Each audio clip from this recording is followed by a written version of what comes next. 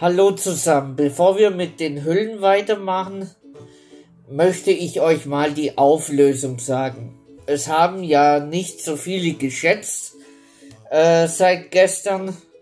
Es hat nur einer einmal probiert zum Schätzen, aber der ist leider meilenweit drüber. Aber danke fürs Schätzen. Du bist der Einzige, wo geschätzt hat. Ähm, ja, der Finn 619 hat vor drei Stunden äh, folgendes geschätzt. Die Frage mit den Prozenten ist echt schwierig, aber ich versuch's mal. Ich schätze 237 Prozent.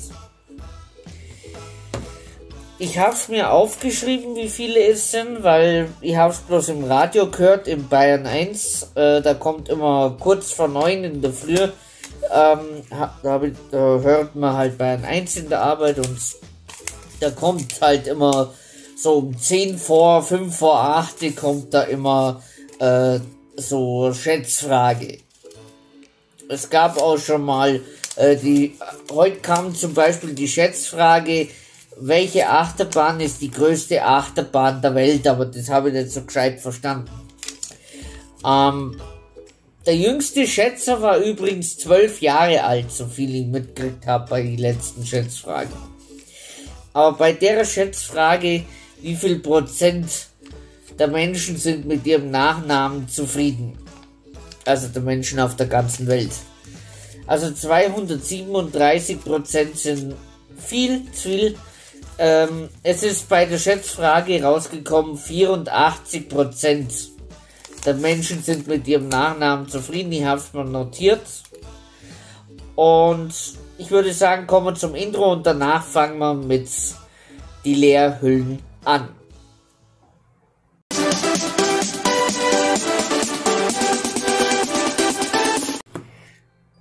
Ja, dann fangen wir mal mit die Leerhüllen an.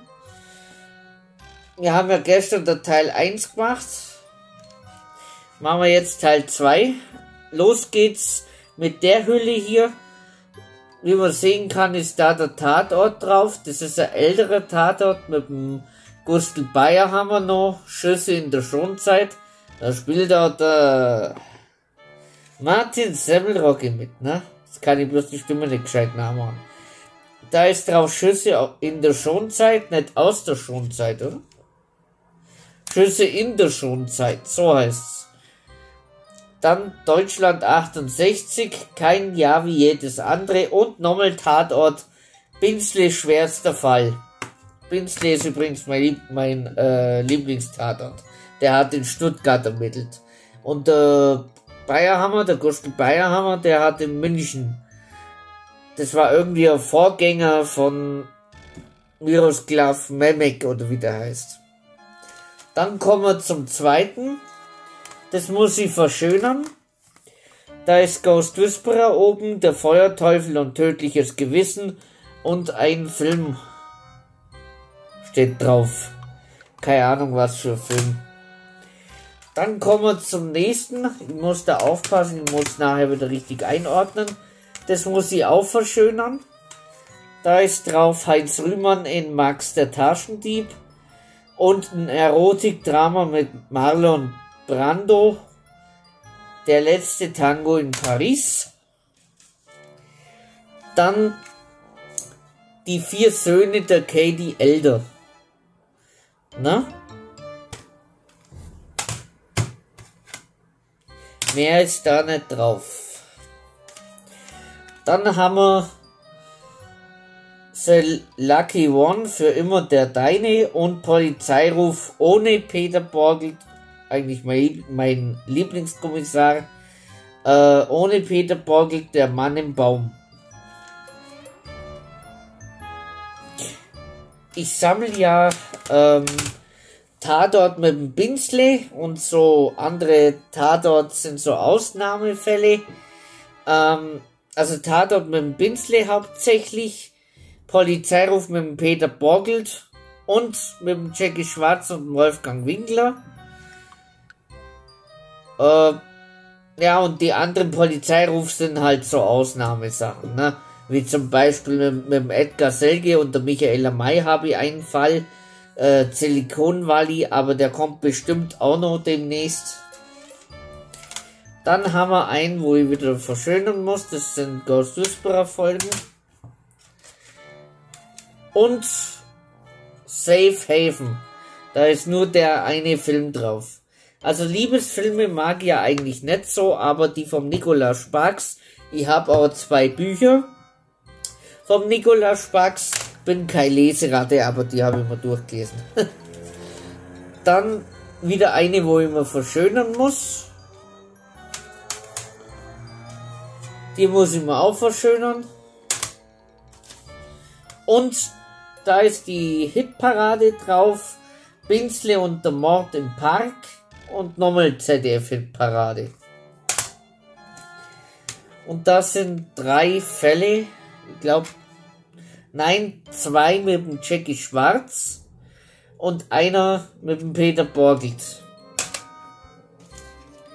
Dann haben wir Asterix in Amerika.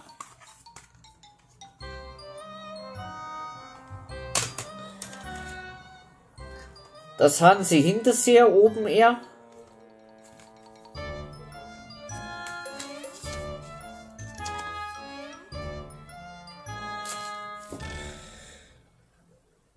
Natascha Kampusch Doku ist noch mit drauf und äh, Polizei ruft der Unfall.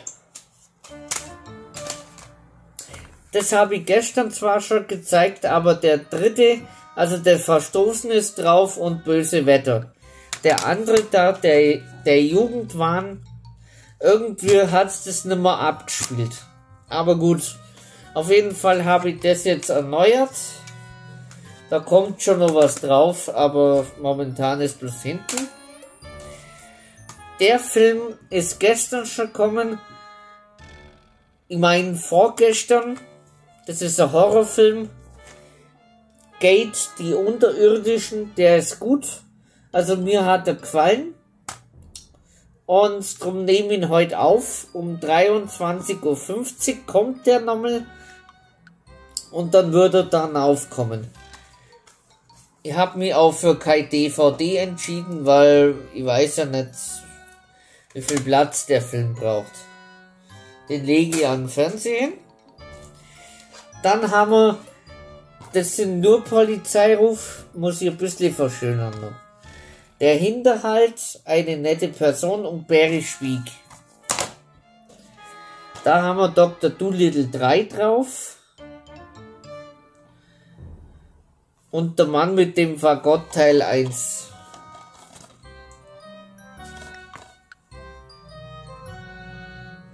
Ich kann euch ja mal, also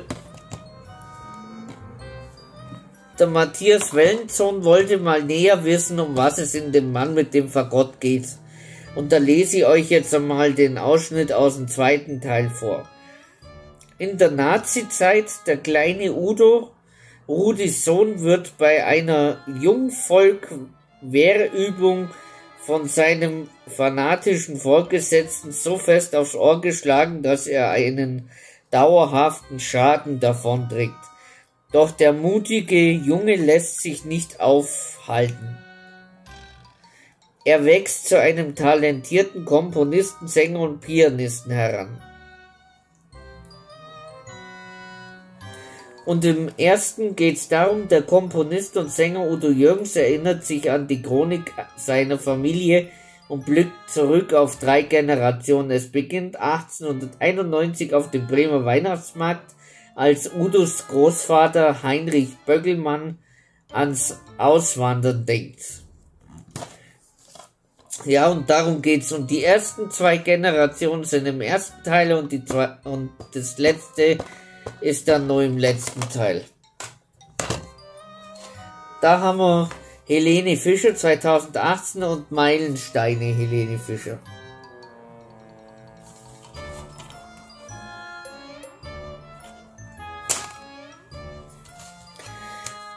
Mein Mörder kommt zurück, also der Reihenfolge nach erstens Schiemgauer Volkstheater, Streit über den Zaun, dann das hier mein Mörder kommt zurück und Märchenfilm Jorinde und Joringel.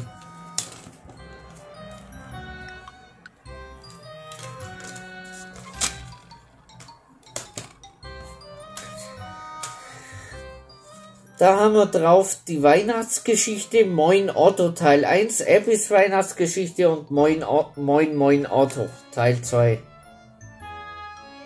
Die Weihnachtsgeschichte, Eppis Weihnachtsgeschichte und das ist für beide Otto-Teile.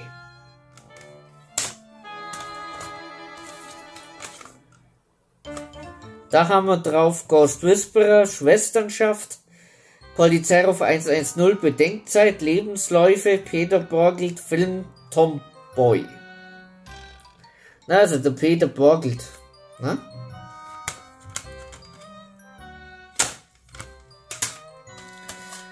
Da haben wir drauf Tatort, Binsle und der Feuerteufel, 25 Jahre Modern Talking, die Queen, Helene Fischer Konzert, so wie ich bin. Das ist ein Film über die Queen. Ne?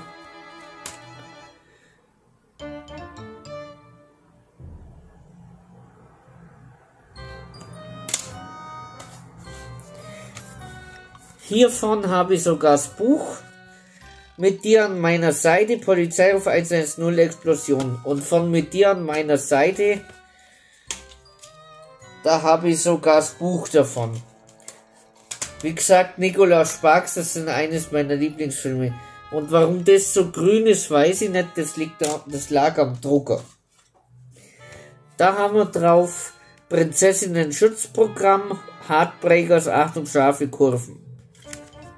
Prinzessinnen-Schutzprogramm und Achtung, scharfe Kurven. Ach, Heartbreakers, Achtung, scharfe Kurven ist mit äh, Jennifer Lovewitt, ihr wisst ja, meine Lieblingsschauspielerin, und das Prinzessinnen-Schutzprogramm, das ist mit Demi Lovato und der Selena Gomez.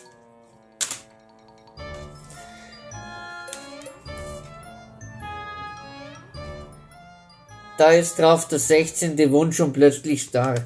Plötzlich starr ist auch mit der Selena Gomez. Na? Der 16. Wunsch ist mit der Debbie Ryan.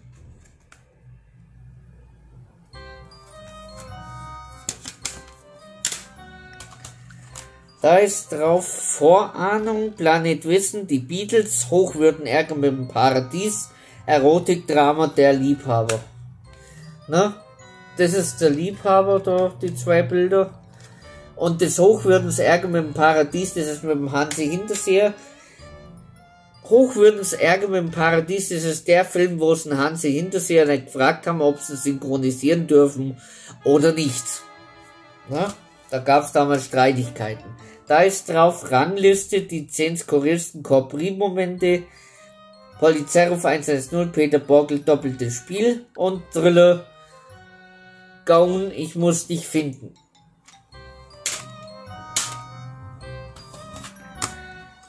Da ist drauf, der mit dem Wolf tanzt. Und ich glaube noch ein paar andere Filme. Ja, Elisabeth ist drauf. Und The Little Princess.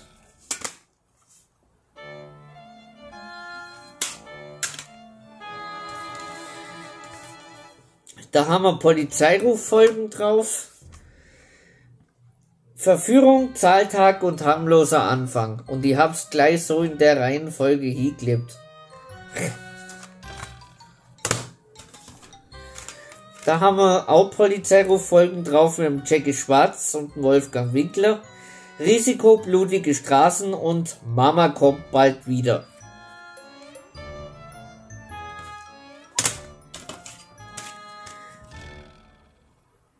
Da haben wir zwei, ein Fall mit dem Jackie Schwarz und zwei mit dem Peter Borgelt. Das mit dem Jackie Schwarz bis zur letzten Sekunde und mit dem Peter Borgelt mit List und Tücke und das Unheil aus der Flasche. Im Unheil aus der Flasche geht's um Alkohol. Ne? Dann haben wir wieder Fälle mit dem Jackie Schwarz, also nur Fälle mit dem Jackie Schwarz.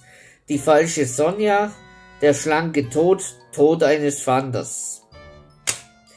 Ja, das waren jetzt weitere DVD-Hüllen. Die nächsten gibt's dann morgen. Wenn es euch gefallen hat, könnt ihr mal einen Daumen nach oben da lassen. Ihr könnt mich wie immer abonnieren. Beim Abonnieren gibt es eine Glocke. Wenn ihr da draufklickt, verpasst die neuesten Videos nicht. Ihr könnt mir meine Social Media sagen, folgen, wie ich da heiße, steht im Bild und in der Videobeschreibung. Und wo mir Posten schicken kann, steht in der Videobeschreibung. Und mein Zweitkanal ist in der Videobeschreibung verlinkt. Und ihr könnt mir eure Meinung zu 84% der Menschen sind mit ihrem Nachnamen zufrieden in die Kommentare schreiben. Jetzt habe ich doch noch eine DVD gefunden. Äh, und zwar sind da zwei Märchen und ein Polizeiruf droben. Die sechs Schwäne, Rotkäppchen und Polizeiruf 110 Vergeltung. Ansonsten wünsche ich euch einen schönen restlichen Tag. Habe die Ehre. Wir sehen uns morgen zu den nächsten DVD-Hüllen.